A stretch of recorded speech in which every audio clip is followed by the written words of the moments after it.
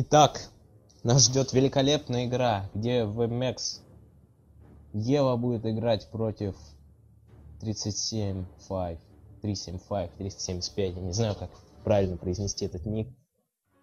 Ну, в общем, это эльф на эльф. Что интересно достаточно.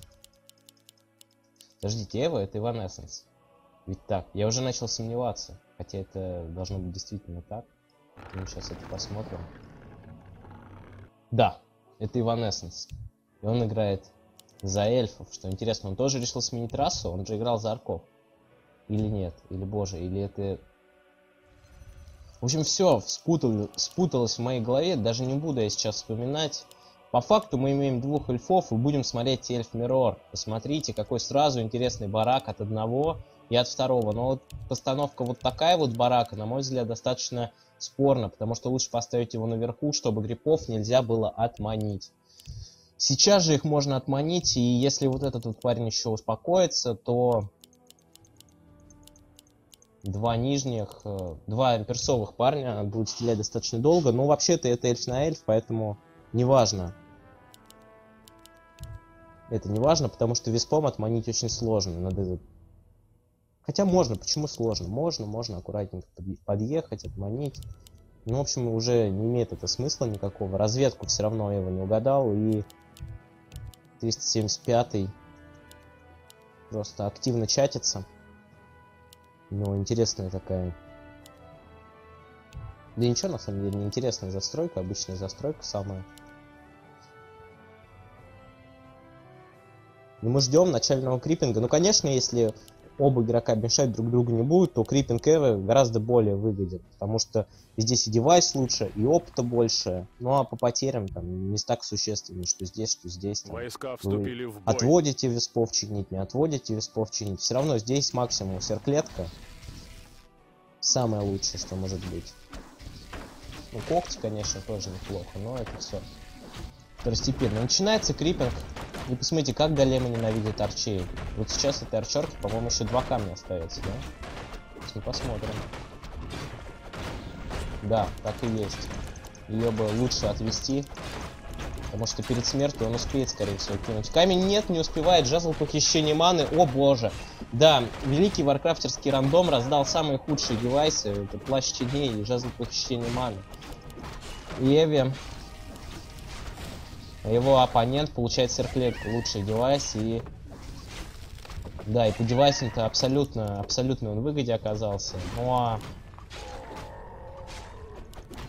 Ну а Эва выкупает тролля. Тролль лезет зачем-то под персовый damage, но все, перестал заниматься.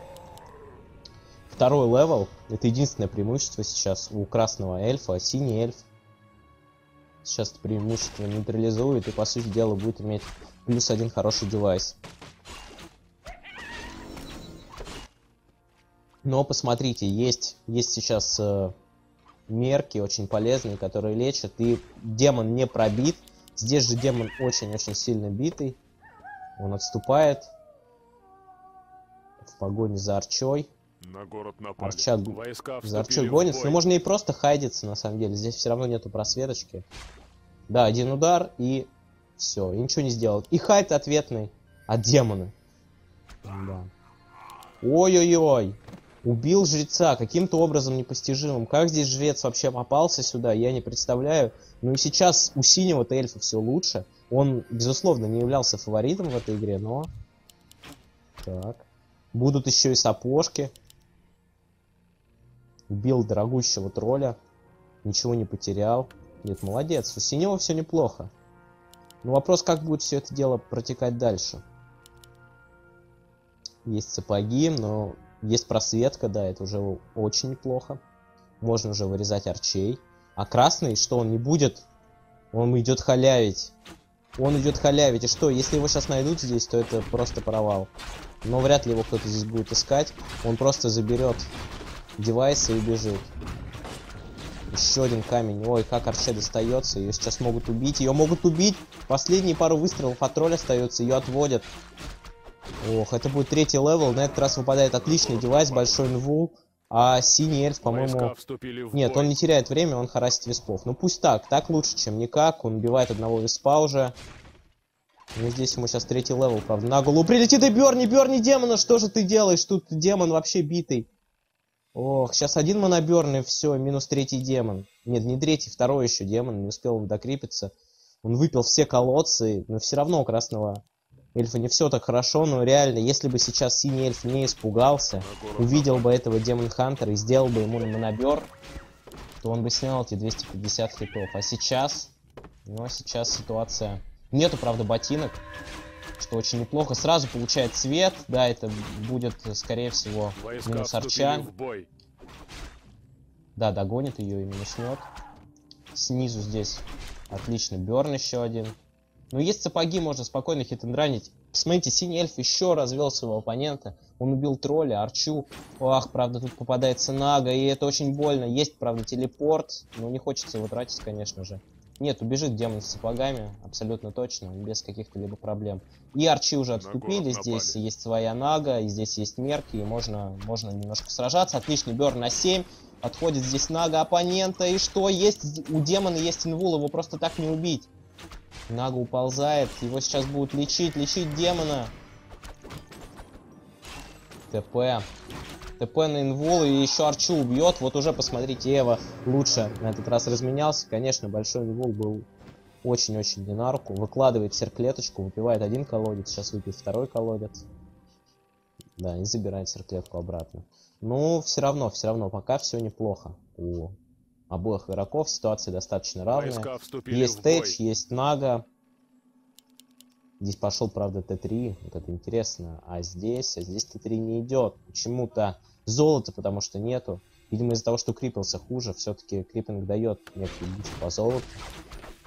Либо настроил очень много лимита. 34. На 38, да нет, в принципе. Не, не так уж много он настроил всего. Третий демон сейчас будет. Стрела зачем-то Нага не отключает. Стрелу, точнее. Ох, и пошло забегание. Фокусит демона. Берн, берн на 100. Демон очень сильно пробил себя. Есть здесь бутылка, здесь бутылки нет. И что, выпивает бутылку, но получает еще один берн. На 81, на 28. Убить надо этого бамбра назойливого. Он вообще не в тему ни разу. Книгу зачем-то съел демоном, не суть важно. Купил свиток. Но свиток сейчас использовать нерационально. Ну и что? Что здесь? Талоны? Талоны с циклоном. А здесь, а здесь Т2 до сих пор. Это просто очень плохо. Почему у тебя Т2, друг? А, вот такая вот застройка. Посмотрите, что делает 375. Вот куда он вложил эти деньги. Ну, не знаю. С Blessing, конечно, неплохо. Здесь прокачка идет, но прокачка особо ничего не даст, кроме как девайс, который продает. Прокачка не даст, потому что все равно демон не получит четвертый, Нага не получит третий. А даже если получат, то ой-ой-ой. Nature Blessing, да. Все понятно. Все понятно, это Войска будет вступили в бой. с бараками. Нужно сейчас строить... Не знаю, что нужно строить. Талоны. Талоны как-то... Ну, у них, конечно, магический дэмэдж, но бараки-то слишком толстые. Хотя... Не знаю даже. Барак тот же grunt, по сути дела. Чуть потолще. На 200 хитпоинтов. Талонов все равно будет много. Пока сейчас бараки дотопывают. Вот доделался Nature's Blessing, пошли бараки в атаку. Ну надо, надо. Да, тут уже талоны встречают. Бараки, правда, в воздух не поднять, вот что хорошо. И они кушают елки, они за счет этого лечатся. Ой-ой-ой. Слушайте, ну не знаю, необычная, очень необычная игра. Давно я такого не видел.